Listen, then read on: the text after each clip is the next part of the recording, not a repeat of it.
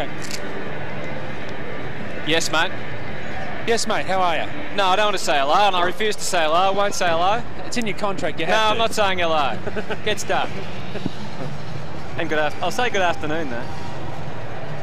You're a classy guy. And greet you with the news that Geelong are in front of Fremantle. and young Gary Ablett, one goal in the first quarter. And the Cats are flogging them. 7 4 46 to 2 3 15. That's outstanding news. Yeah, the Um, Reg Hickey stand will be rocket. 40 Yeah. seconds over, we haven't started, Trace. If it's a boring match and you hear me get really excited, it's because I'm watching the Geelong game in the next corporate box next door through my binoculars. Thank you very much. Thanks.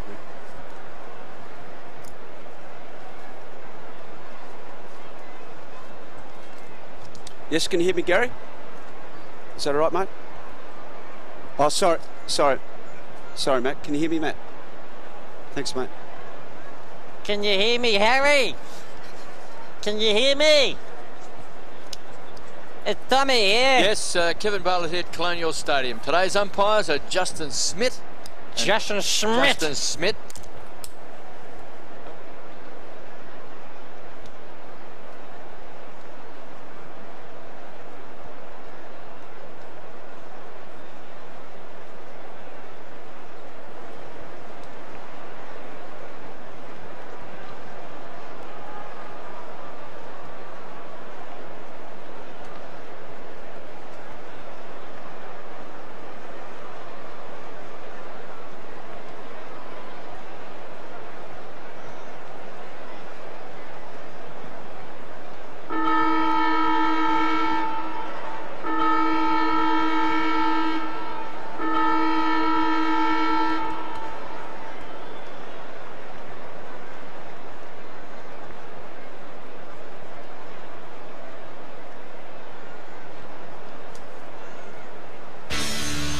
Carlton and the Kangaroos this afternoon coming to you from Colonial Stadium. Brett Ratten and Anthony Stevens, the respective captains, making their way to the middle for the toss. Kevin Bartlett joins us alongside Russell Greene. KB, good afternoon. We've seen a draw.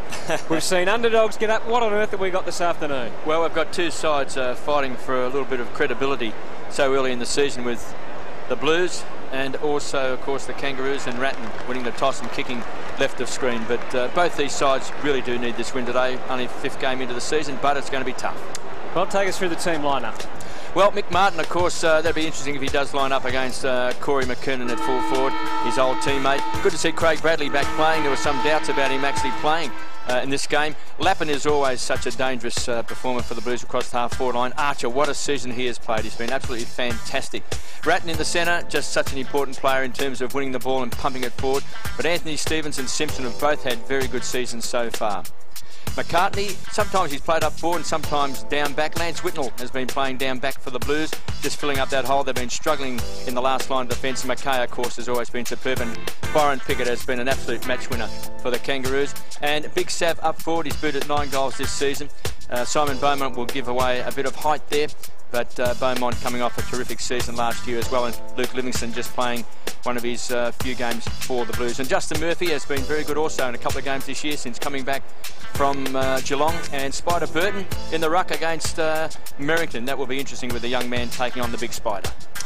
And, And they're the, the bench. as they stand and as they will start this afternoon. Yes, well, Leigh Harding has kicked a few goals, six goals this year, and uh, of course Shannon Motlop, uh, famous for that incident last week against Sydney. And down minding them on the bench this afternoon, the minder, Francis Leach.